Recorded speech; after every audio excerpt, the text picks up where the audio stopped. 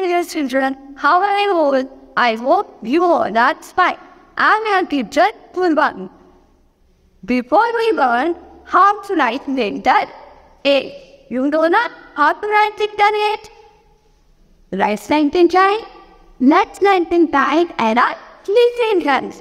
Okay, now we will start letter B. Letter B. See. What is also got? That be what? Bed. You blend it back now. We should not bed. Being what? Bed. Being what? Ball. And be what? Box. So, will learn how to write it that B. C. A standing line.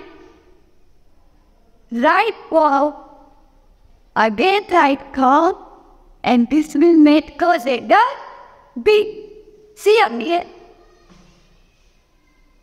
Standing line.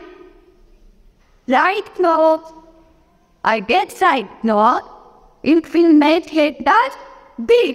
Okay? Done.